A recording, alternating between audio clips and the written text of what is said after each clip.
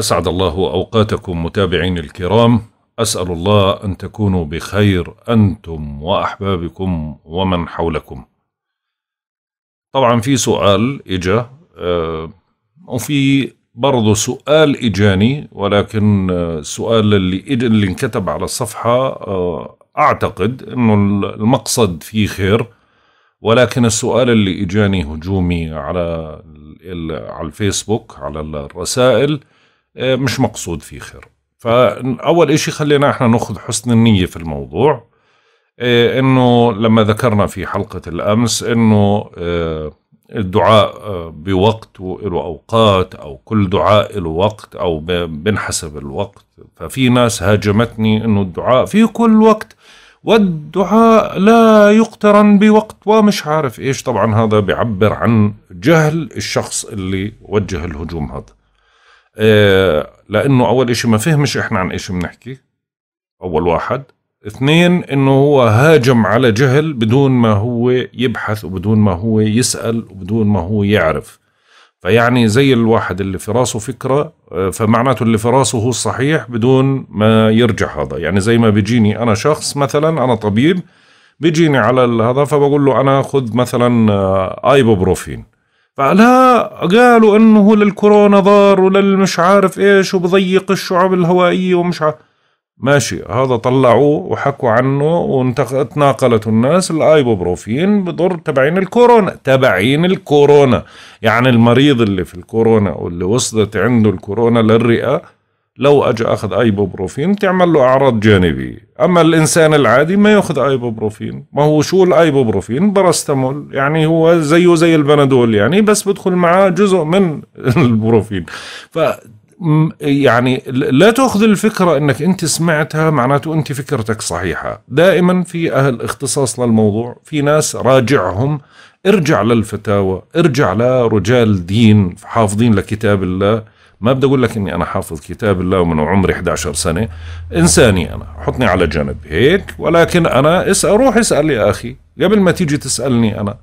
فأنا بدي أجاوبك اليوم وبدي أفيد الناس بالإجابة. إنه هل للدعاء وقت؟ أول إشي الدعاء في كل وقت والتسبيح في كل وقت والاستغفار في كل وقت. ولكن لمين؟ للعوام ولا كل الناس. يعني للكل بيقدر يدعي وبيقدر يسبح وبده بيقدر إنه هو يعمل أي شيء في كل وقت. هذه تقرب إلى الله مش محصورة بوقت.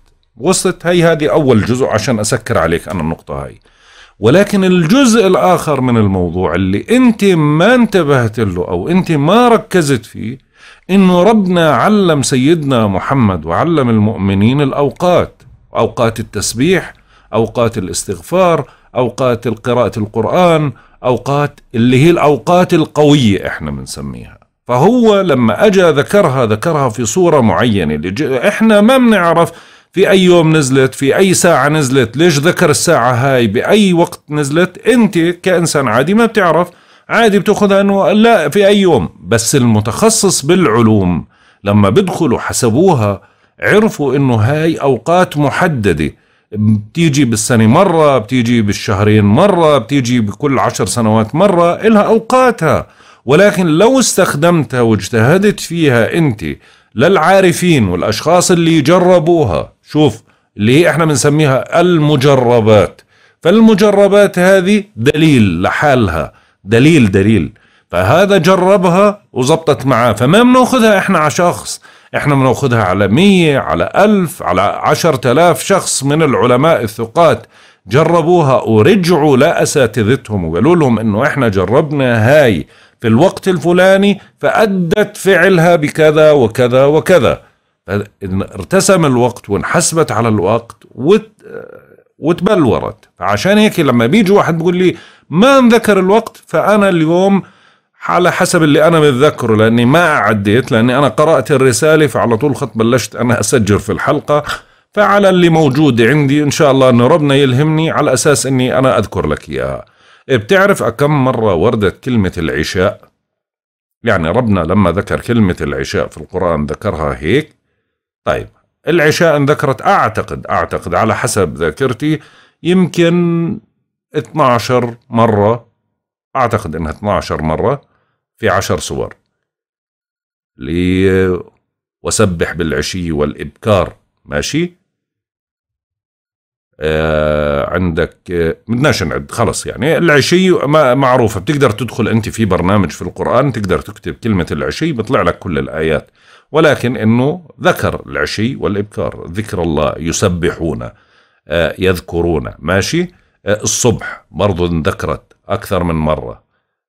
يعني على أساس أنه برضو فيها أشياء للتسبيح الساعة علم الساعة علم الدهر آه طرفي النهار دلوك الشمس آناء الليل آه الوقت آه المساء الفجر الغسق الغداة أو الغداة العصر الضحى اللهم صل على محمد وعلى آل محمد.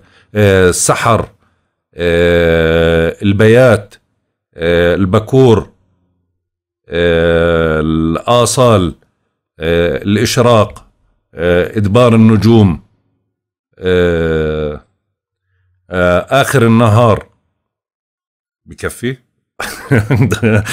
الله الحمد لله الحمد والشكر لله. هذا من فضل ربي. ليبلوني أأشكر أم أكفر؟ الحمد والشكر لله.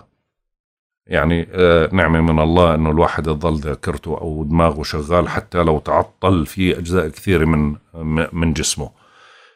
الحمد لله رب العالمين. طيب يا إخوان فعشان هيك لما بيجي واحد بقول هذه الأوقات ما ذكرت عبث وأعتقد لما تيجي تركز فيها فبترجع للصورة فبتلاقي إنه الصورة كانت تؤمر محمد بقراءة القرآن أو بالصلاة أو بالسجود أو بالتسبيح أو بالإستغفار أو أو أو إلى ما لا نهاية.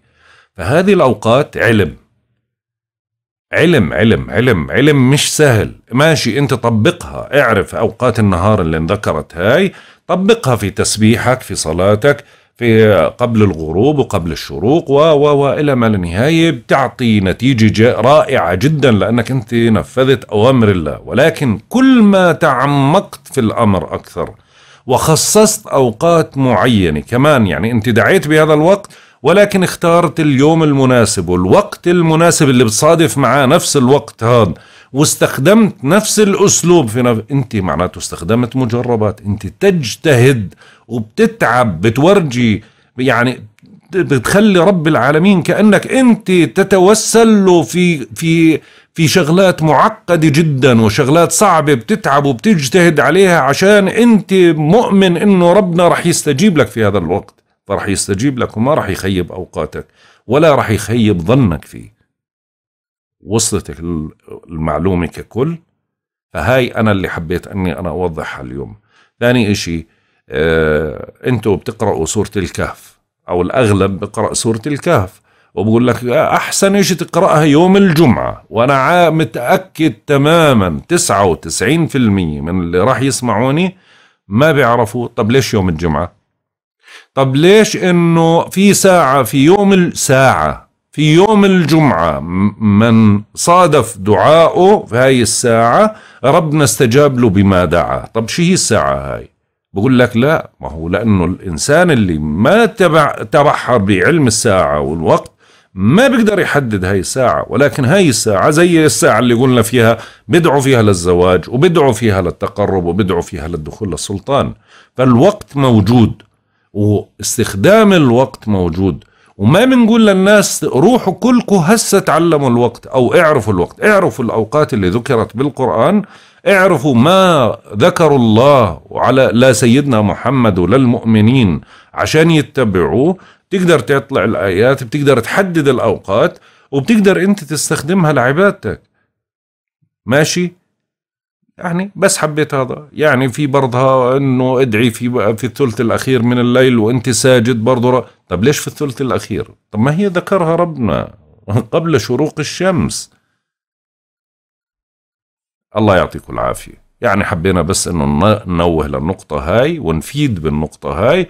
وإذا حبيت إني أسترسل أكثر في الموضوع هذا ما راح أعمله مع الأبراج. راح أنا يعني على قدر إمكانياتي راح اسجل لكم اياه بحلقات إنه كل وقت وهذا الوقت كيف بنحسب وكيف إيه، ممكن إنك أنت تستفيد منه. وأنا عارف إنه مجهد جدا ومتعب جدا ولكن يعني إن وجدت إنه في أشخاص حابة إنها تتعلم هذا العلم والعدد يعني جيد فممكن إني أنا أبدأ في هذا الموضوع أو أرتب وقت لهذا الموضوع. السؤال الثاني اللي طرح إنه آه، وين توقعات الشهر؟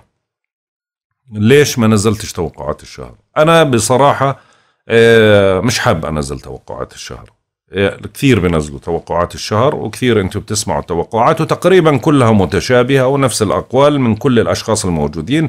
فما بدي أنزل لأنه الفترة الماضية يعني كثير في هجوم وكثير مش عارف إيش ونفس الكلام وبتسرق منهم وبتحط منهم وتعطي منهم ونفس الكلام بتعيدوا فيه كلكم فيعني أنا شايف إنه ما في منفعة وخصوصا مع التسارع الحركي للكواكب فما راح الواحد يركز فيها مزبوط وما راح يفهمها مزبوط.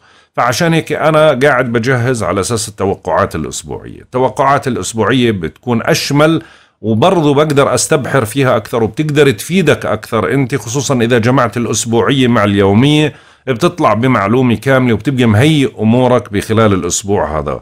وإذا كان في حركة فلكية طويلة راح تصير لمدة مثلا تأثيراتها فراح نذكرها ما إحنا بنذكرها بالأخبار الفلكية. ولما بتصير الزاوية هاي وبنعطي تنبيهات إيش اللي ممكن إنه يصير أو قبلها بفترة زي ما حكينا عن عطارد إيش اللي لازم تحتاطوا له أو إيش اللي لازم تعملوه بالفترة القادمة. يعني هاي النقطة اللي حبيت أوضحها عشان ما تعتبوا علي. عشان برضو الأشخاص اللي بتحط جماعة ال dislike أعطيهم مجال إنهم ينزلوا توقعات شهرية يسرقوا من بعض وينزلوها. وفي نفس اللحظة إنه أنا ما بنزل فيديوهات بس عشان أجمع لايكات ومشاهدات ما بيهمنيش هذا الموضوع بيهمني إيش اللي انت ممكن إنك انت تستفيد منه. فتوقعات شهر ستة اجمالا كل اللي نزلوا التوقعات راح يدخلوا بالحيط ويدخلوا الناس بالحيط. لأنه توقعاتهم راح تتضارب مع بعض راح يعطيك أشياء إيجابية ويرجع يقول لك نفس الإيجابية يحكي لك إياها سلبية لأنه التسارع الفلكي اللي راح يصير في شهر ستة راح يخربط كثير من الأمور فمعظمهم توقعاتهم راح تكون بنسبة عالية جدا متدنية وأنا مش حاب أدخل في المغامرة هاي لأنه الحلقة راح تكون طويلة وشرحها راح يكون معقد وما راح حدا يفهمها والمهاجمين راح يكونوا أكثر من الراضين عن الموضوع. هذا رأيي. إذا عندكم رأي آخر اكتبوا لي في التعليقات. خلينا نروح على توقعات عشان إنه ما ناخذ وقت أطول من هيك. بالنسبة للقمر حكينا أو قبل ما ندخل للقمر وين موجود توقعاتنا ليوم الثلاثاء اثنين ستة. مش ليوم الاثنين بتنزل يوم الاثنين ولكن إحنا بنحكي توقعاتنا. من اللحظة اللي أنا بنزل فيها التوقعات اللي هي الساعة ستة بتوقيت الأردن يعني الساعة تقريبا بحدود الثلاثة بتوقيت جرينتش فأنا بنزل التوقعات عشان تستم من نفس الوقت هذا لثاني يوم نفس الوقت. آه، حكينا توقعات ليوم الثلاثاء 2 6 القمر موجود في الميزان في منزلة الزبانية.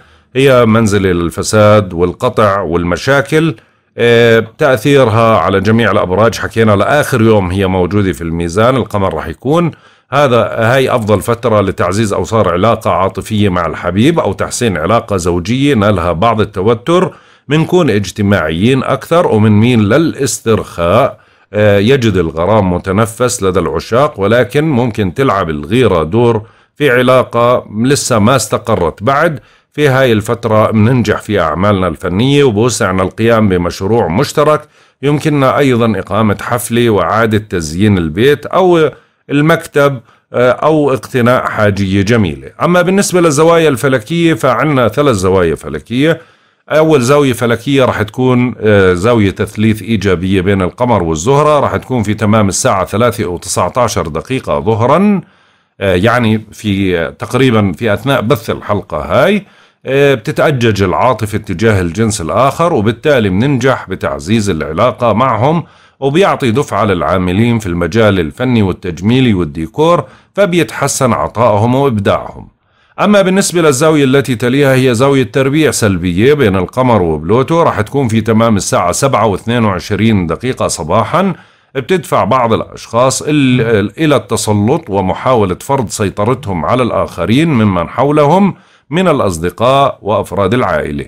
أما بالنسبة للزاوية التي تليها هي زاوية تربيع سلبية. بين القمر والمشتري. راح تكون في تمام الساعة 10 و39 دقيقة. بعد الظهر يجب توخي الحذر ممن يحاولون استغلال طيبتنا وكرمنا. هيك إحنا خلصنا الزوايا الفلكية. مع هاي الزاوية الفلكية اللي هي الساعة 10 أو 39 دقيقة بعد الظهر ببدأ خلو المسار. خلو المسار رح يستمر لغاية الساعة 4 وخمس دقائق مساء يعني راح يستمر تقريبا من ساعات ما بعد الظهر أو بعد الظهر لغاية الحلقة القادمة. آه هذا بيعني أنه الفترة المذكورة لا تصلح للبدء بأي عمل جديد أو مهم مثل توقيع عقد أو خطوبة أو زواج أو شراء شيء ثمين بل إكمال العمل اللي بدأنا فيه قبل خلو المسار. بعدها القمر طبعا راح ينتقل للعقرب.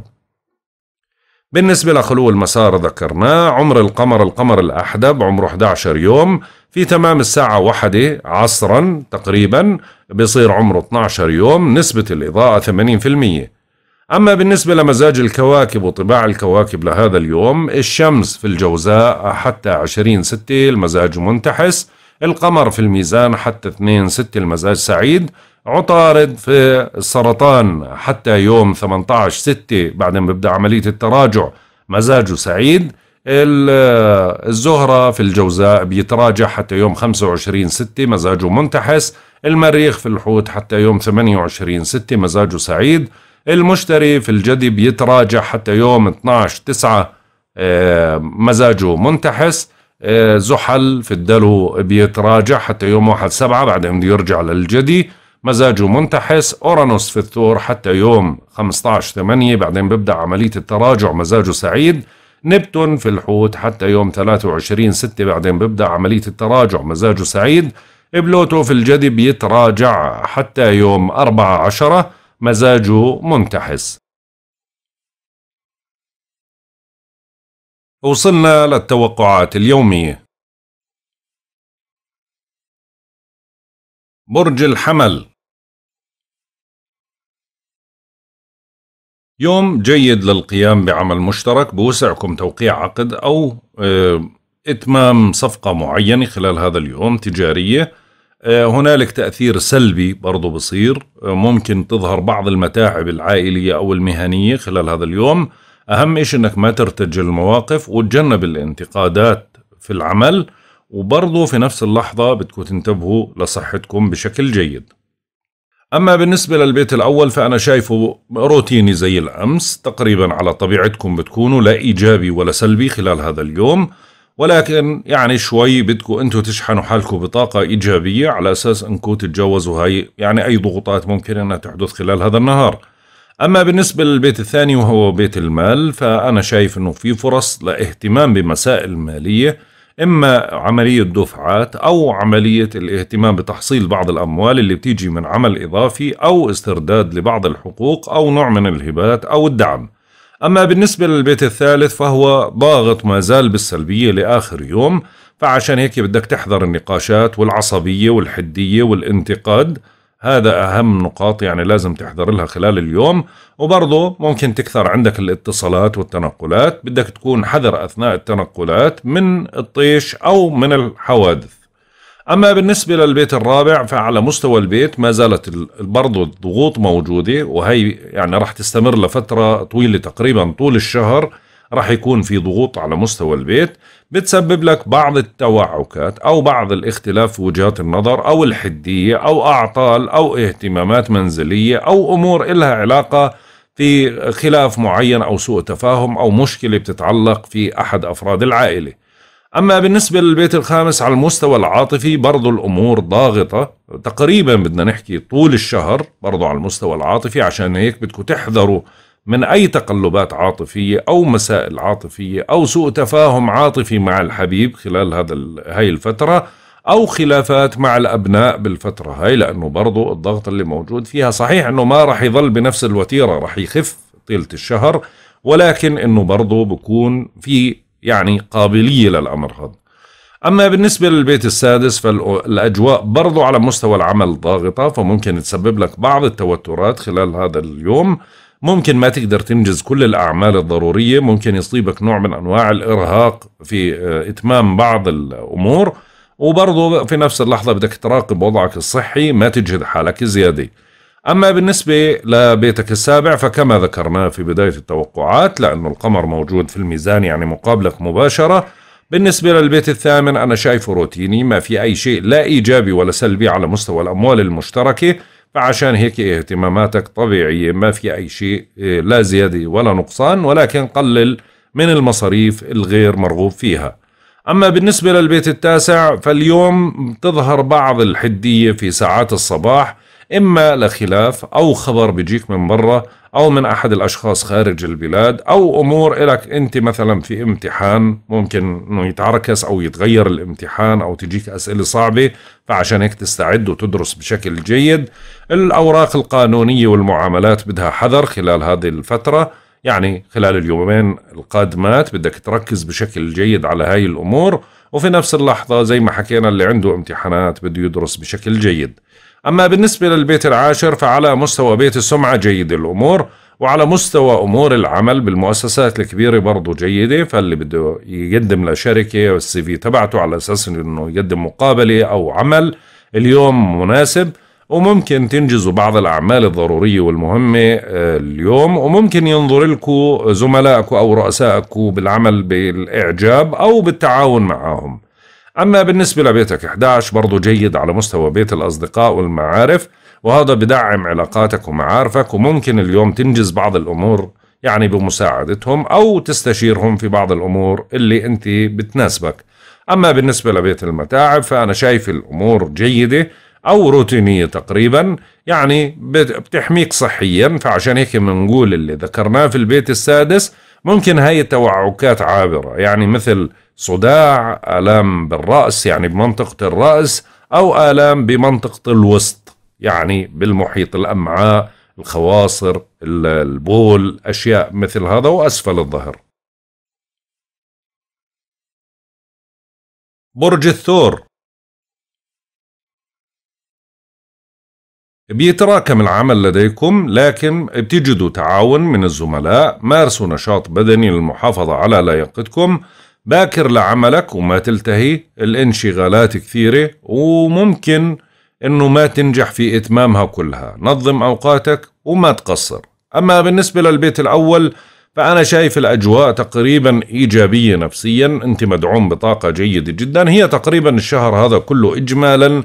نفسيا أنت راح تكون مرتاح. ما في أي يعني على على المستوى النفسي ما في أي بلابل إلا إذا كان طالعك شوي ممكن يسبب لك نوع من أنواع الاضطرابات أو الانزعاج أو عدم الثقة أو أشياء من هذا القبيل.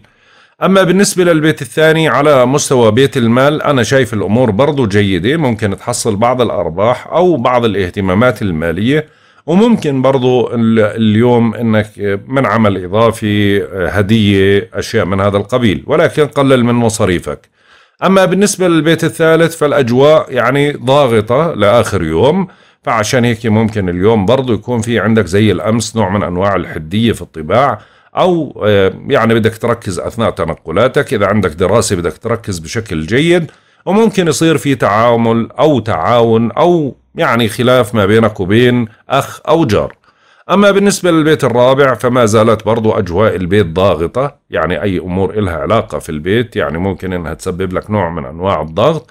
إما خلافات أو سوء تفاهم أو حدث منزلي أو عائلي أو اهتمامات مثلا طويلة المدى. طول الشهر مثلا تكون في أشياء إلها علاقة بالبيت أو بتركز الوضع على البيت أكثر. أما بالنسبة للبيت الخامس فهو روتيني على المستوى العاطفي ما في أي شيء لا إيجابي ولا سلبي على طبيعتكم تتعاملوا أنتوا وأفراد العائلة أو أنتوا والأحباء تحديدا لأنه أفراد العائلة المقصود في البيت الخامس اللي هم الأبناء. أما بالنسبة للبيت السادس فكما ذكرنا في بداية التوقعات بالنسبة للبيت السابع مستوى الشراكة جيد جدا اليوم. بتدعمك بينك وبين الشريك وبتعمل تقارب ما بينكم. وفي منكم ممكن اليوم يعني يصير في تقارب جيد أو إنجاز بعض الأعمال المهمة بينه وبين شريك العاطفة اللي هم الأزواج. أما بالنسبة للبيت الثامن فأنا شايف أنه في ساعات ما يعني من الظهر بتبلش في نوع من أنواع الضغط على مستوى الأموال المشتركة. إما أمور إلها علاقة في الضريبة في التأمين مستردات مالية آه، ببنك بكشوفات حسابية بقروض. يعني ممكن شوي يصير في بعض الخربطة أو الاهتمامات منك على هذا الموضوع. أما بالنسبة للبيت التاسع فالأجواء تقريبا روتينية لغاية ساعات الظهر. بعد ساعات الظهر ممكن يجيك خبر أو تتسرع أنت بالحكم على شخص من خارج البلاد أو يستفزك موقف معين. أو يتعطل أمر له علاقة ببريد أو مشتريات جيتك من برا أو مؤسسة تعليمية أو أشياء من هذا القبيل بدها نوع من أنواع التركيز خصوصا إذا كان عندك امتحان جامعي. أما بالنسبة للبيت العاشر فهو جيد بيدعمك برضو على مستوى بيت السمعة أو مستوى العمل. ممكن اليوم تقدم لعمل وممكن برضو تعمل مقابلة ولكن بدك تحضر لها بشكل جيد. وممكن تنجز بعض الأعمال بالتعاون ما بينك وبين زميل أو رئيسك بالعمل. أما بالنسبة لبيت الأصدقاء يعني شايف الأجواء روتينية يعني بتتعامل بينك وبين الأصدقاء والمعارف على طبيعتك ولكن ما في أي إيجابية أو سلبية إنها تعركس الأمور أو يكون فيها شغلات مفاجئة إلا إذا طالعك ممكن هو اللي يدعمك في هاي النقطة. أما بالنسبة لبيت المتاعب فهو برضو جيد جدا. ممكن إنه اليوم تنجز بعض الأعمال الضرورية والمهمة وفي منكم راح يهتم أو ينظر لموضوع صحي أو رقابة صحية أو أشياء من هذا القبيل. برج الجوزاء. طبعا اليوم جيد زي يوم أمس وأحسن كمان. بتشتد رغبتكم في التقرب من أحبائكم وتعزيز العلاقة معهم. يوم مناسب لممارسة نشاط فني أو أدبي. في هاي الفترة يعني بنعتبرها إحنا فترة استثنائية بما إنه القمر موجود في البيت الخامس فهو بدعمك بطاقة كبيرة بيبتسم لك فيها الحظ وبتكون فرحتك كبيرة بتهتم باستعادة موقع معين أو بتتحمس للبدء بتنفيذ مشروع طال انتظاره. يعني الفترة هاي بتحمل نوع من أنواع الانفراجات والأخبار السارة. أما بالنسبة للوضع النفسي تقريبا أحسن من اليوم أمس اليوم مشحون بطاقة أكثر كمان. ثقتك بنفسك أكبر. ممكن اليوم تنجز بعض الأعمال المهمة وممكن تهتم بنفسك أكثر. أما بالنسبة للبيت الثاني فالأجواء على المستوى المالي برضو جيدة. البيت الثاني بدعمك ماليا.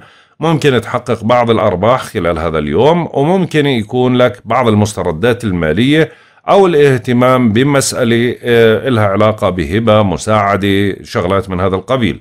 أما بالنسبة للبيت الثالث فهو شوي في نوع من الخطر. ولكن مش هالخطر الكبير فعشان هيك بنقول لك بس دير بالك إنك تعصب أثناء النقاشات خصوصا إذا واحد استفزك بدك تمسك أعصابك.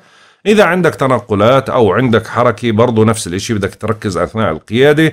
آه، برضو في عندك نقطة آه، مهمة إنه إذا عندك امتحان مدرسي بدك تدرس وتستعد بشكل جيد.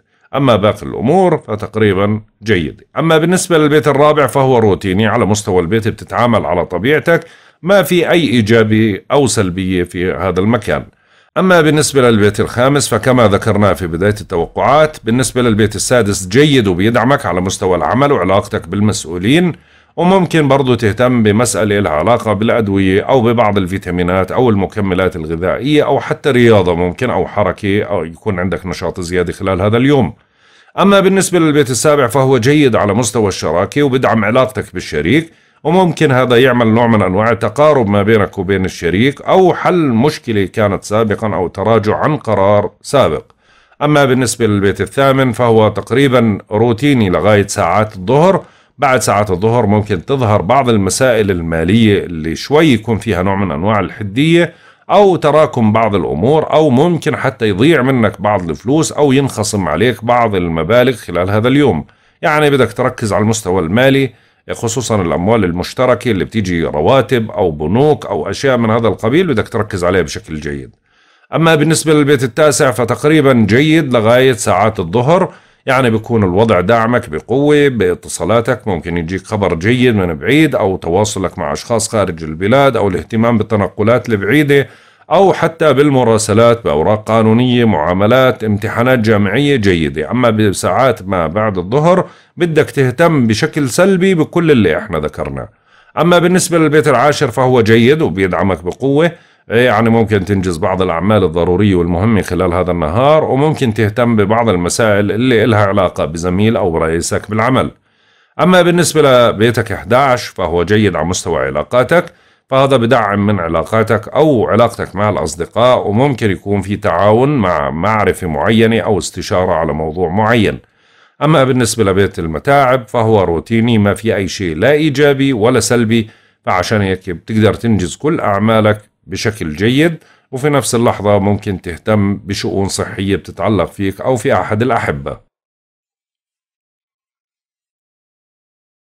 برج السرطان. بتحتل الأمور البيتية والعائلية القسط الأكبر من تفكيركم بوسعكم التفاهم وتعزيز العلاقة مع أحد أفراد العائلة. ممكن تضطر للاهتمام بتصليحات منزلية أو غيرها فلا تفقد الاتزان والثقة بالأحبة.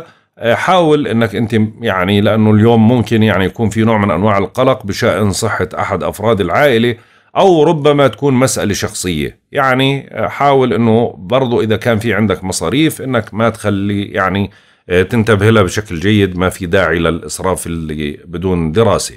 أما على المستوى النفسي فتقريبا متقلب خلال هذا اليوم يعني لحظات روتيني لحظات ممكن يعني في ساعات الصباح أو لغاية الظهيرة هيك تظهر يعني شغلة تستفزك أو إنه تخليك تكتئب أو تدخل في وضع نفسي هيك تحاول إنك ما بدك تختلط بحد خلال هذا اليوم. لا اطلع منها لأنه بعد ساعات الظهر الأمور بتصير إيجابية وبتدعمك بقوة. وخصوصا أنه القمر بيتجه للبيت الخامس اللي هو للعقرب فراح يدعمك بقوة أكثر خلال الفترة القادمة ولكن ابتداء من ساعات الظهر لصالحك. أما بالنسبة للبيت الثاني فأنا شايف الأجواء جيدة على المستوى المالي. ممكن تحقق بعض المكاسب المالية خلال هذا اليوم. يا بتجيك من عمل إضافي يا نوع من أنواع الدعم يا الهبات يا المساعدات يا الهدايا. أما بالنسبة للبيت الثالث فما زالت الأجواء فيها نوع من أنواع الضغط على بيت الاتصالات والمواصلات فعشان هيك ممكن اليوم يحمل لك يعني كثير من الأشياء اللي هي الحدية بالطباع أو العصبية أو ممكن يعني من أثناء حركتك ممكن يعني تعرض نفسك لبعض الإصابات أو الاهتمامات بأمور لها علاقة بالسيارات أو بالتليفونات بشكل سلبي يعني أعطال أو آه، اهتمامات صيانة وتصليح. أما بالنسبة للبيت الرابع فهو كما ذكرنا في بداية التوقعات بالنسبة للبيت الخامس على المستوى العاطفي الأمور جيدة مشحون بطاقة إيجابية وهي بتعمل تقارب ما بينك وبين الحبيب أو مصالحة أو تعامل ما بينك وبين أحد الأبناء. أما بالنسبة للبيت السادس فالأجواء تقريبا جيدة شيئا ما ولكن برضو تحمل في فترات نوع من أنواع تراكم الأعمال أو عدم القدرة على إنجاز بعض الأعمال الضرورية والمهمة خلال هذا اليوم وبدك تهتم لبعض التوعكات الصحية. أما بالنسبة للبيت السابع فالأجواء جيدة دعميتك على مستوى بيت الشراكة وبتعمل يعني تقارب ما بينك وبين الشريك أو حل بعض المسائل الجيدة اللي بتقارب ما بينك وبين الشريك وممكن تحل بعض الأمور بشكل ودي أو تتراجع عن قرار سابق. أما بالنسبة للبيت الثامن برضو بدعمك بقوة وهذا بساعدك في بعض المسائل على مستوى الأموال المشتركة زي بنوك وضريبة وتأمينات أو أمور إلها علاقة بالمستردات المالية. أما بالنسبة للبيت التاسع فما زالت الأجواء شوي يعني بتتراجع قاعدة على مستوى البيت التاسع للإيجابية ولكن بحاجة لكمان يومين جايات بعدين الأمور بتصير يعني تقريبا روتينية. ولكن لحد الآن في نوع من أنواع القلق خصوصا من ساعات الظهر يعني ممكن تقلق بشأن شخص خارج البلاد أو يتعطل عليك موضوع له بالاتصالات أو بالسفر أو أوراق سفر أو معاملات مع أشخاص خارج البلاد. اللي عنده امتحان جامعي في ساعات بعد الظهر بده يدرس ويستعد بشكل جيد. أما بالنسبة للبيت العاشر فالأجواء جيدة وداعمة بقوة فممكن اليوم يعني يصير في نوع من أنواع التعامل ما بينك وبين آه، زملائك بالعمل أو رئيسك بالعمل أو ممكن اليوم تعمل مقابلة أو إشي له علاقة بالعمل بشركة كبيرة أو مؤسسة كبيرة وتكون إيجابية. أما بالنسبة لبيت الأصدقاء والمعارف فالأمور تقريبا روتينية ما في أي شيء لا إيجابي ولا سلبي يعني بتتعاملوا مع أصدقائكم ومعارفكم بشكل آه، طبيعي. أما بالنسبة لبيت المتاعب فالأجواء جيدة وبتدعمك بقوة يعني هاي بتحميك من أي عدو أو أي شخص بتآمر عليك بالخفاء. ممكن اليوم برضو تنجز بعض الأعمال الضرورية والمهمة وممكن تهتم بصحتك بشكل أكثر آه، تركيز. وخصوصا إنه البيت السادس يعني شوي بشكل نوع من أنواع الضغط فعشان هيك بنقول منطقة الرئة ومنطقة القولون هي أكثر منطقتين حساسات برج الأسد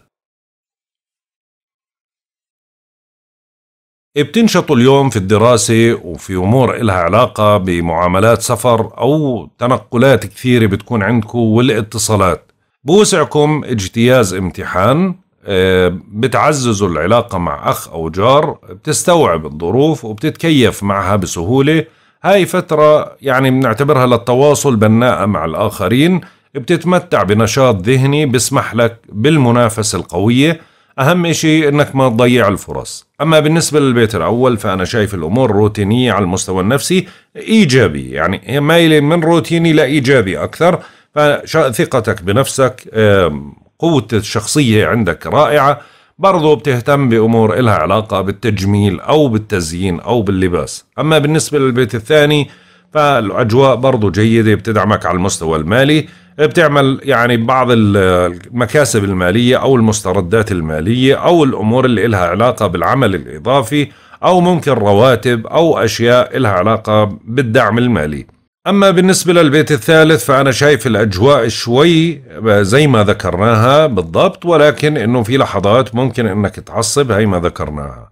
أما بالنسبة للبيت الرابع فالأجواء جيدة على مستوى البيت وهي بتعمل نوع من أنواع التقارب ما بينك وبين أفراد العائلة أو اجتماع عائلي أو لقاء عائلي أو حتى إنه حل مشكلة عائلية بتكون أنت طرف فيها لحل نزاع أو خلاف. ممكن تهتم ببعض الشؤون البيتية زي صيانة ترتيب آه، تجميل أو أمور لها علاقة بالديكور مشتريات أشياء من هذا القبيل. أما بالنسبة للبيت الخامس على المستوى العاطفي فهو روتيني ما في أي شيء لا إيجابي ولا سلبي خلال هذا اليوم. بالنسبة للبيت السادس شايف الأجواء فيها نوع من أنواع الضغط يعني بتسبب لك نوع من أنواع يعني التقصير في بعض الأعمال أو عدم القدرة على إنجاز كل الأعمال وبرضه بدك تراقب وضعك الصحي حاول إنك تحمي حالك من أي توعك صحي ممكن يصير يعني مثل برد أو مثل آه، أشياء عابرة يعني. أما بالنسبة للبيت السابع فبدعمك على مستوى بيت الشراكة بيعمل تقارب ما بينك وبين الشريك ممكن اليوم يصير في تفاهم ما بين الأزواج تحديدا على مسألة معينة أو تقارب ما بينهم أكثر وهذا بي يعني بيعزز العلاقة العاطفية. أما بالنسبة لبيتك الثامن فأنا شايفه روتيني ما في أي شيء لا إيجابي ولا سلبي فالأجواء عندك تقريبا جيدة وبتدعمك بقوة.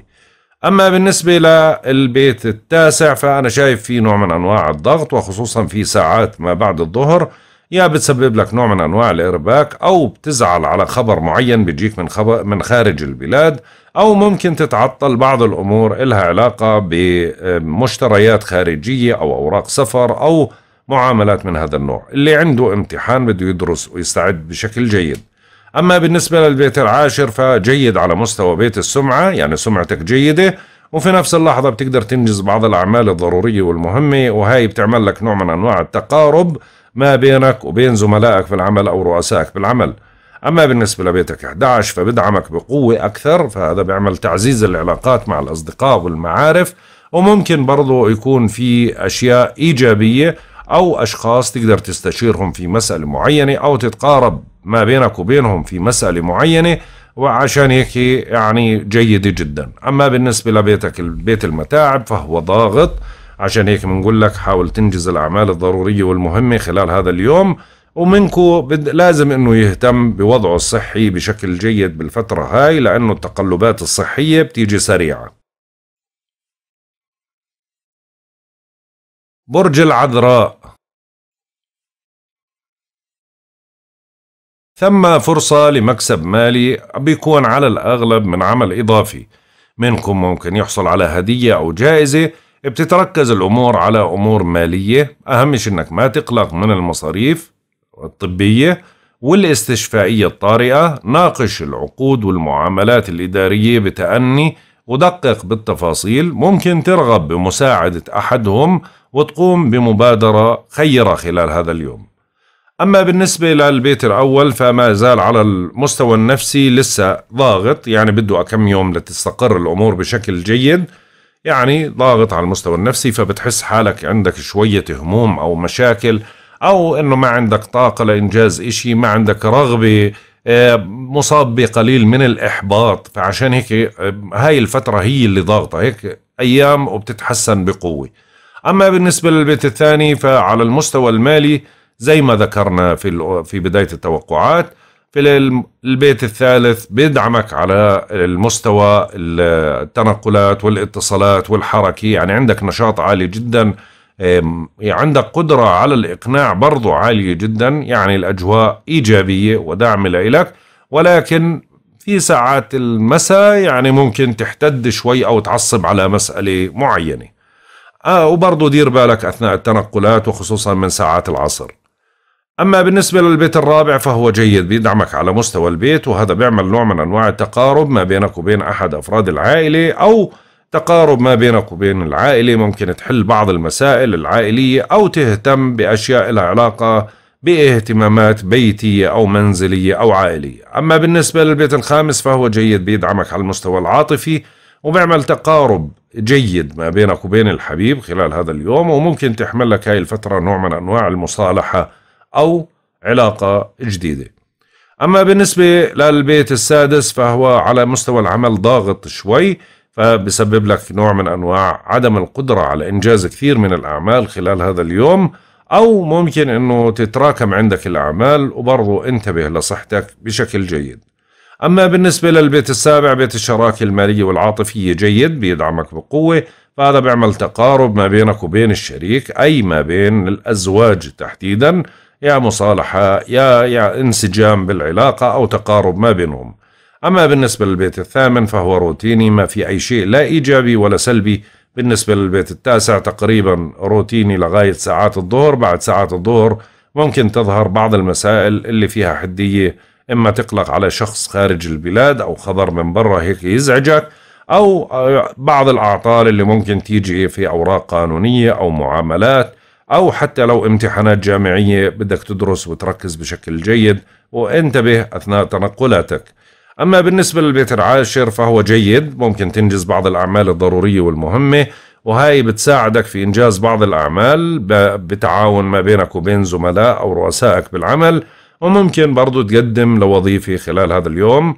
وممكن إنه يعني إذا كان عندك مناقشة وهذا تكون لصالحك. أما بالنسبة لبيتك 11 فهو جيد وبيدعمك بقوة وهذا بيعمل تقارب ما بينك وبين الأصدقاء وممكن حل مشكلة معينة وممكن برضو إنك أنت يجي لك دعوة لحضور حفلة مناسبة عزومة مثلا لقاء بعض الأصدقاء أو حل مشكلة كان صعب إنها تنحل بالفترة الماضية ما بين الأصدقاء وبعض.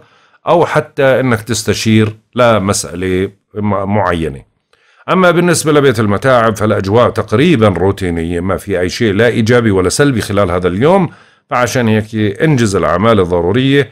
ولو حدث طارئ مثلا على الوضع الصحي يعني إذا شعرت بشيء ولا أنا مش شايف أي شيء له علاقة بالوضع الصحي أنا شايف أنه لا أحد المقربين أو لا يعني ناس من الأشخاص اللي أنت بتعرفهم ممكن أنه يشعر ببعض التعب وأنت تهتم فيه أكثر. برج الميزان.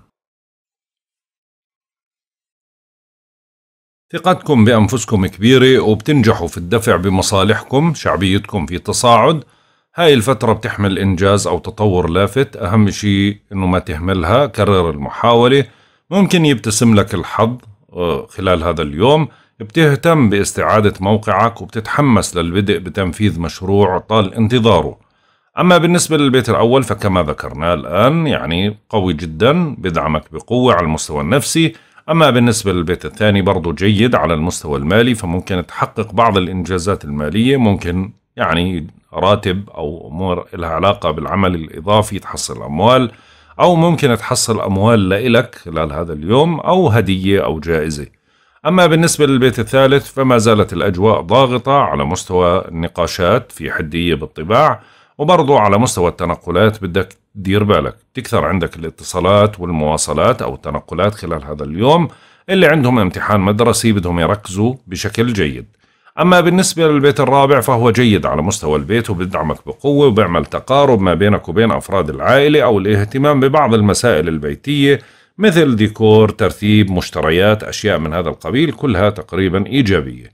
أما بالنسبة للبيت الخامس على المستوى العاطفي الوضع روتيني ما في أي شيء لا إيجابي ولا سلبي يعني تقريبا بدأت الأجواء تتحسن شيئا ما للروتينية يعني بظل أفضل من السلبية على المستوى العاطفي وهي يعني بادرة جيدة. أما بالنسبة للبيت السادس يعني تحمل لك بعض الأمور اللي ممكن يكون فيها على مستوى العمل يتراكم عندك بعض الأعمال أو ما تقدر تنجز كل إشي وممكن مسألة إلها علاقة بالصحة شوي هيك تكون عليها علامة استفهام فبدك تدير بالك بشكل جيد على صحتك.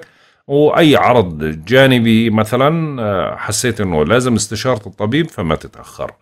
أما بالنسبة للبيت السابع فالأجواء جيدة ودعمتك بقوة على مستوى بيت الشراكة وهي بتعمل تقارب ما بينك وبين الشريك. وممكن مصالحة أو مثلا اتفاقية على أمر معين أو تقارب ما بينكم. أما بالنسبة للبيت الثامن فهو روتيني ما في أي شيء لا إيجابي ولا سلبي على مستوى الأموال المشتركة ولكن ممكن في ساعات ما بعد العصر هيك إما أنك تحصل مبلغ لإلك أو تهتم بأمور إلها علاقة بالفواتير أو الدفعات أو أشياء من هذا القبيل. أما بالنسبة للبيت التاسع فتقريبا الأجواء جيدة على مستوى الاتصالات البعيدة والتواصل مع أشخاص خارج البلاد أو الاهتمام بأوراق قانونية أو معاملات فممكن يعني اهتماماتك تكون جيدة خلال هذا اليوم. أما بالنسبة للبيت العاشر فهو جيد جدا بيدعمك برضو على مستوى السمعة وممكن برضو تنجز بعض الأعمال الضرورية والمهمة خلال هذا اليوم بالتعاون مع زميل أو رئيسك بالعمل. أما بالنسبة لبيتك 11 فهو روتيني ما في أي شيء لا إيجابي ولا سلبي بتتعامل على طبيعتك مع الأصدقاء والمعارف خلال هذا اليوم أو ممكن تستشير بعض الأشخاص في مسألة معينة وبتكون إيجابية. أما بالنسبة لبيت المتاعب فأنا شايف الأجواء شوي ضاغطة فعشان هيك بنقول لك اهتم بصحتك وبرضه في نفس اللحظة بدك تهتم بأمور إلها علاقة بإنجاز الأعمال فما تخليها تتراكم كثير عليك. برج العقرب. طبعا ما زال التعب أو الملل مسيطر عليكم. اخلدوا للراحة وحاولوا فقط إنجاز ما بوسعكم من عمل عاجل بسود آه، سوء التفاهم آه، بتخف وتيرتك وبتشعر بالملل. فقد ممكن تتأخر المعاملات أو تلغي بعض المعاملات. بترغب في الابتعاد عن الأجواء الصاخبة فترة سلبية شوي يعني تحمل نوع من أنواع السلبية. حاول تشحن حالك بطاقة إيجابية عشان تتجاوزها. ضل هاليوم وبعدين القمر راح ينتقل لعندك فالأجواء راح تصير لصالحك. أما بالنسبة للبيت الثاني فأنا شايف الأجواء على المستوى المالي جيدة فممكن اليوم تحصل على بعض الأموال أو أمور لها علاقة بالدفعات المالية اللي بتيجي يا من عمل إضافي يا استحقاقات يا رواتب يا دعم يا نوع من أنواع الهبات أو المساعدات أو الهدايا. أما بالنسبة للبيت الثالث فهو جيد على مستوى التنقلات والاتصالات خلال هذا اليوم وممكن تنجز كثير من الأمور اليوم بتحركاتك وممكن تقنع أي شخص بوجهة نظرك أو تدافع عن أي مسألة بتتعلق فيك بقوة وثقة. أما بالنسبة للبيت الرابع على مستوى البيت تقريبا الأجواء روتينية ما في أي شيء لا إيجابي ولا سلبي بتتعامل على مستوى البيت على طبيعتك. ممكن اليوم يصير في تقارب أو لقاء أو يعني الاهتمامات العائلية أو البيتية تكون جيدة. أما بالنسبة للبيت الخامس فبرضه على المستوى العاطفي جيد وبيدعمك ممكن يعمل نوع من أنواع التقارب ما بينك وبين الحبيب. أما بالنسبة للبيت السادس فالأمور يعني ممكن يتراكم عندك بعض الأعمال أو تنشط في بعض الأعمال خلال هذا اليوم. فأهم شيء أنك تحاول تحافظ على يعني على إنجاز الأعمال ما تتعب حالك كثير وفي نفس اللحظة اهتم بصحتك. أما بالنسبة للبيت السابع فهو جيد جدا على مستوى بيت الشراكة وهذا بيعمل تقارب ما بينك وبين الشريك وممكن إنجاز بعض الأمور مشتركة ما بينك وبينه بشكل جيد وقوي جدا خلال هذا اليوم. أما بالنسبة للبيت الثامن برضو جيد على مستوى الأمور المالية فهذا يعني بخليك تنجز بعض الأعمال والمهام المالية وخصوصا الأمور اللي بتتعلق في بنك أو في ضريبة أو تأمين أو مستردات مالية أو أمور لها علاقة بالميراث كلها هاي تقريبا إيجابية ممكن أي واحدة منها ممكن كلهم يعني على حسب طبيعة حياتك. أما بالنسبة للبيت التاسع فهو ضاغط فعشان هيك في أمر من خارج البلاد إما بقلقك أو بيجيك خبر شوي بزعجك خلال هذا اليوم أو ممكن تشعر بنوع من أنواع التوتر أو ما تقدر تنجز كل الأمور وخصوصا أوراق معاملات قانونية أشياء من هذا القبيل. وبرضه في المقابل إذا عندك امتحان جامعي بدك تركز بشكل جيد. أما بالنسبة لبيتك العاشر فهو داعم وبيدعمك بقوة على مستوى بيت السمعة. وممكن تنجز بعض الأعمال الضرورية والمهمة بالتعاون مع زميل أو رئيسك بالعمل خلال هذا اليوم. أما بالنسبة لبيت الأصدقاء فالأجواء روتينية ما في أي شيء لا إيجابي ولا سلبي على مستوى بيت الأصدقاء وهذا بدعمك برضو بتعزيز العلاقات أو المعارف خلال هذا اليوم. أما بالنسبة لبيت المتاعب فكما ذكرنا في بداية التوقعات. برج القوس.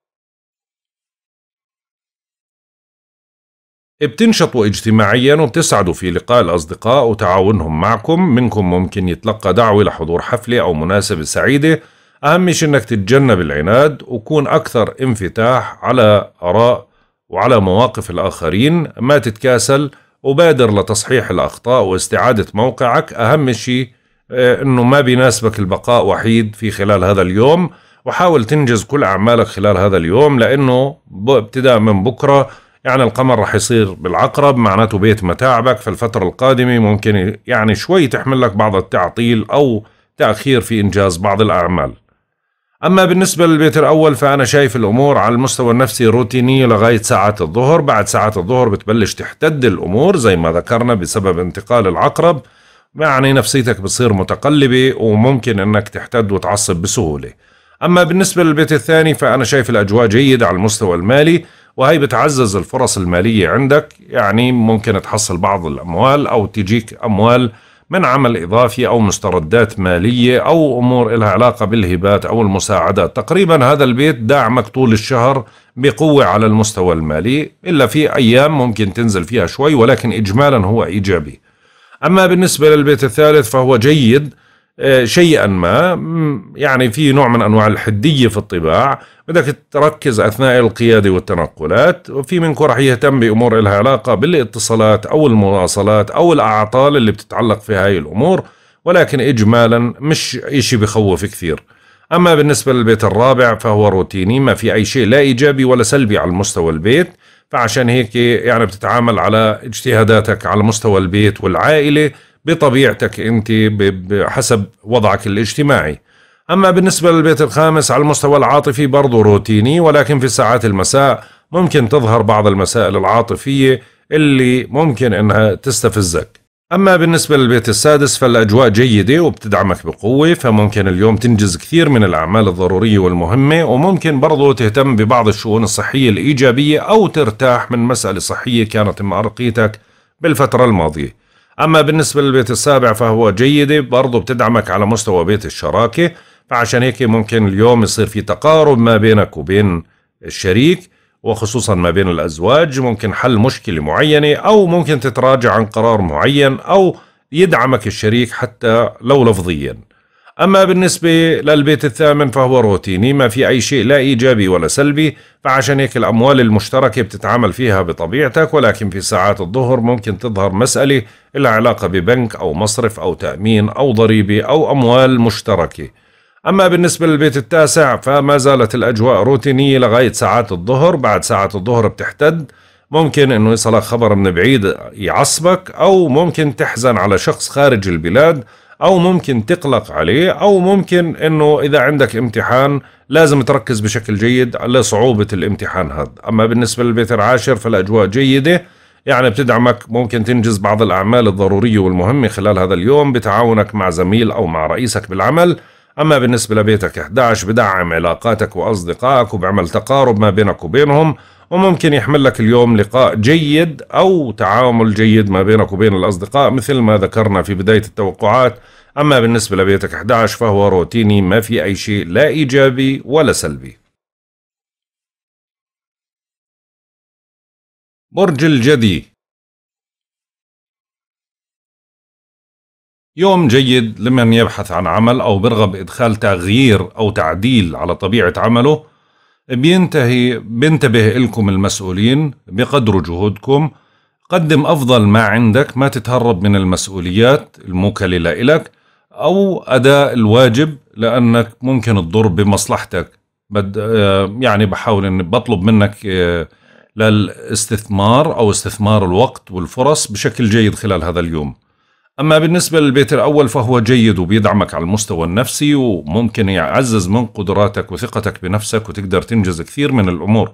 أما بالنسبة للبيت الثاني فالأجواء جيدة وبرضه بتدعمك بقوة وهي بتعزز الأمور المالية فممكن تحصل بعض المكاسب المالية اللي بتيجي من عمل إضافي أو مستردات مالية أو بعض الدعم خلال هذا اليوم. أما بالنسبة للبيت الثالث فهو جيد على مستوى التنقلات والاتصالات واهتماماتك بتكون عالية جدا خلال هذا اليوم وخصوصا في أمور امتحانات يعني اهتمام بالسيارة بالتليفون كلها هي جيدة ولكن بغلب عليك العصبية والتسرع في بعض الأوقات. أما بالنسبة للبيت الرابع فهو روتيني ما في أي شيء لا إيجابي ولا سلبي على طبيعتكم تتعاملوا على المستوى المنزلي. أما بالنسبة للبيت الخامس على المستوى العاطفي الأمور جيدة وبتدعم من عواطفك وقدرتك على التواصل مع الحبيب. ممكن تحمل لك هاي نوع من أنواع مبادرة أو علاقة غرامية جديدة. أما بالنسبة للبيت السادس فالأجواء تقريبا برضو يعني فيها نوع من أنواع الضغط. فيعني لغاية ساعات الظهر ممكن تتراكم عندك بعض الأعمال أو تحس بأنه الأعمال كثير موكلة لك أو مشاكل إلها علاقة بالعمل ممكن تأرقك خلال هذا اليوم. ولكن في ساعات الظهر تقريبا الأجواء بتصير إيجابية وجيدة. أما بالنسبة للبيت السابع فالأجواء بتدعمك بقوة على مستوى بيت الشراكة وبتعمل تقارب ما بينك وبين الشريك بقوة عالية جدا. ممكن مصالحة أو تعاون أو ممكن توصلوا لحل آه، ما بين آه، على مشكلة سابقة. أما بالنسبة للبيت الثامن فالأجواء روتينية ما في أي شيء لا إيجابي ولا سلبي. بالنسبة للبيت التاسع فشايف الأمور ضاغطة فعشان هيك بتسبب لك بعض الخلافات مع أشخاص خارج البلاد أو مشاكل ممكن تجيك من خارج البلاد أو ممكن أنه يتعطل أمور إلها علاقة بالسفر أو بالتنقلات أو أوراق قانونية أو معاملات أو أمور إلها علاقة بأوراق الإقامة. أما بالنسبة للبيت العاشر فالأجواء جيدة ودعمة بقوة على مستوى بيت السمعة وهذه بتحميك بقوة. وممكن برضو أنه تنجز بعض الأعمال الضرورية والمهمة بالتعاون مع زميل أو رئيسك بالعمل زي ما ذكرنا في بداية التوقعات. أما بالنسبة لبيتك 11 فالأجواء روتينية ما في أي شيء لا إيجابي ولا سلبي. أما بالنسبة لبيتك 12 فالأجواء جيدة لغاية ساعات الظهر بعدين بتحتد على مستوى بيت المتاعب. فعشان هيك حاول تنجز الأعمال الضرورية والمهمة قبل ساعات الظهر. بعد ساعات الظهر ممكن يتراكم عندك بعض الأعمال أو تظهر شغلة صحية شوي تقلقك. برج الدلو. بتنشطوا في أمور إلها علاقة بالسفر والاتصالات البعيدة والتنقلات وأوراق ومعاملات سفر وأشياء من هذا القبيل. يوم مناسب لإجراء مقابلة أو اجتياز امتحان أهم إشي إنك ما تستسلم كرر المحاولة وثابر حتى تصل لأهدافك. هاي فترة يعني تعتبر من الجيدات في خلال هذا الشهر بترتفع حظوظك. وممكن إنه تقوم برحلة أو تشاور تشارك في حفلة أو احتفال أو مناقشة في موضوع معين. أما بالنسبة للبيت الأول فأنا شايف الأجواء روتينية ما في أي شيء لا إيجابي ولا سلبي خلال هذا اليوم على طبيعتك بتتعامل. بالنسبة للبيت الثاني الأجواء على المستوى المالي جيدة ممكن تحقق لك بعض الفرص المالية. يا بتجيك من عمل إضافي يا رواتب يا مستردات مالية يا هبات مساعدات هدايا كلها تقريبا يعني متوقعة خلال هذا اليوم. أما بالنسبة للبيت الثالث فالأجواء تقريبا ما زالت فيها نوع من أنواع الحدية فعشان هيك حدية بالطباع. ما تتسرع أثناء تنقلاتك. إذا عندك امتحان مدرسي أو عند أبنائك برج الدلو عندهم امتحان مدرسي خليهم يستعدوا بشكل جيد. وبرضه في المقابل ممكن يصير في نوع من أنواع الاهتمام بسيارة أو بتليفون. أما بالنسبة للبيت الرابع فالأجواء جيدة على مستوى البيت وبتدعمك بقوة. ممكن التقارب ما بينك وبين أحد أفراد العائلة أو ما بينك وبين العائلة باجتماع عائلي أو ممكن تهتم بمسألة إلها علاقة بمشتريات بديكور بترتيبات باهتمامات منزلية. أما بالنسبة للبيت الخامس فعلى المستوى العاطفي ما زالت الأجواء ضاغطة شوي لغاية ساعات الظهر بعدين بتصير روتينية. فهاي بتسبب لك نوع من أنواع القلق على الحبيب أو نوع من أنواع التعاطف معه أو إشي خلاف ما بينك وبينه. أما بالنسبة للبيت السادس فالأجواء برضو بتراكم بعض الأعمال خلال هذا اليوم. آه، يعني بتكون مشغول كثير أو عندك أعمال كثيرة أو مشغلك مكانك في العمل أو العمل اللي أنت بتشتغل فيه. يعني ممكن شوي يسبب لك بعض القلق لغاية ساعات الظهر. بعد بعد ساعات الظهر بتبلش تخف تدريجيا لترجع روتينية. أما بالنسبة للبيت السابع فبدعمك على مستوى بيت الشراكة. وتقارب ما بينك وبين الزوجة أو الزوج وممكن مصالحة أو اتفاق على قرار معين أو يعني أمور إيجابية. أما بالنسبة للبيت الثامن يعني تقريبا ضاغطة ما زالت على مستوى الأموال المشتركة وبتسبب لك هاي بعض الأرق خلال هذا اليوم. وممكن التزامات أو فواتير أو دفعات بنكية أو أو إلها علاقة بالضريبة بالتأمينات أو بجمعية مثلا. ممكن شوي أنه يكون فيها نوع من أنواع المطالبات. أما بالنسبة للبيت التاسع فأنا شايف الأجواء جيدة وبتدعمك بقوة مثل ما ذكرناها في بداية التوقعات. أما بالنسبة للبيت العاشر فهي جيدة على مستوى بيت السمعة وبتدعمك بقوة. في أمور إلها علاقة بحل بعض المشاكل آه، اللي ممكن كانت تهدد سمعتك. ولكن اليوم هو قوي وباقي الشهر تقريبا بيت السمعة قوي جدا. وممكن يصير تعاون ما بينك وبين زميل أو رئيسك بالعمل أو يكون لك إنجاز أعمال ملفتة للانتباه. أما بالنسبة لبيتك 11 فالأجواء روتينية لغاية ساعات الظهر وبعدين بتحتد الأمور يعني إما بسوء تفاهم ما بينك وبين صديق أو معرفة أو زعل عليه أو زعل عشانه. أما بالنسبة لبيتك يعني بيت المتاعب فالأمور جيدة يعني دعميتك برضه بقوة بالفترة هاي.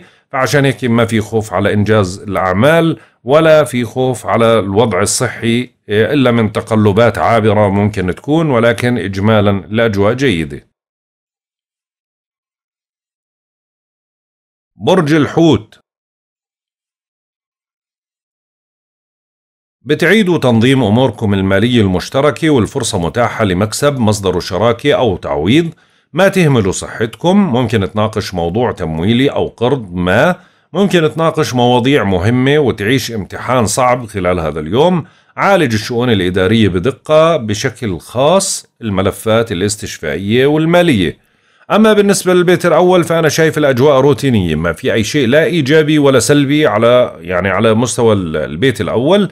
أما بالنسبة للبيت الثاني فأنا شايف الأجواء جيدة على المستوى المالي فممكن اليوم تحقق بعض المكاسب المالية اللي بتجيك يا من عمل إضافي يا إما مستردات مالية يا إما حقوق لا إلك أو من عملك مثلا ولكن إنه في فوائد وممكن تجيك هدية مثلا. أما بالنسبة للبيت الثالث فالأجواء برضو جيدة وداعمة لك فعشان هيك بتنشط اليوم بالاتصالات والمواصلات والتنقلات والمناقشات وبتقدر تقنع أي شخص بوجهة نظرك. وممكن برضو يكون لك بعض الاهتمامات بأمور امتحانات أو أشياء من هذا القبيل. أما بالنسبة للبيت الرابع فأنا شايف الأجواء ما زالت على مستوى البيت حادة ولكن بتنزل شوي. إما التزامات كثيرة أو أعمال كثيرة أو بعض الضغوطات العائلية شوي مأرقيتك بالفترة هاي. ممكن اهتمامات التزامات ممكن صيانة ترتيب ديكور أعطال يعني من هذا القبيل. أما بالنسبة للبيت الخامس فالأجواء على المستوى العاطفي برضو ما زالت فيها نوع من أنواع التقلب. فعشان هيك بتسبب لك نوع من أنواع التوتر إما قلق على الحبيب أو قلق من الحبيب. فعشان هيك هاي الفترة بتحمل لك نوع من أنواع التوتر على المستوى العاطفي. أما بالنسبة للبيت السادس فالأجواء يعني على المستوى العمل ممكن قلق على مسألة في العمل أو قرارات مثلا جديدة مأرقيتك أو ممكن يتراكم عندك بعض الأعمال ما تقدر تنجزها وممكن على مستوى الوضع الصحي ولكن من ساعات الظهر بتبلش تخف هاي الضغوطات بشكل إيجابي.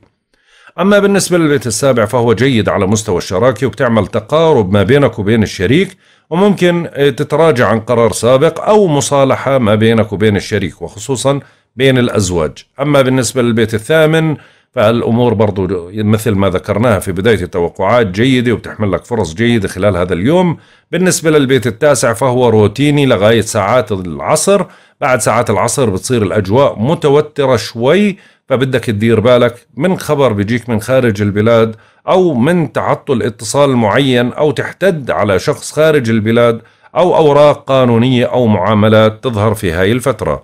أما بالنسبة للبيت العاشر يعني ممكن تظل الأجواء جيدة لغاية ساعات العصر. يعني بتقدر تنجز أعمالك ومهامك بشكل جيد ولكن في ساعات ما بعد العصر ممكن يتراكم عندك بعض الأعمال أو تنضغط بعمل إضافي.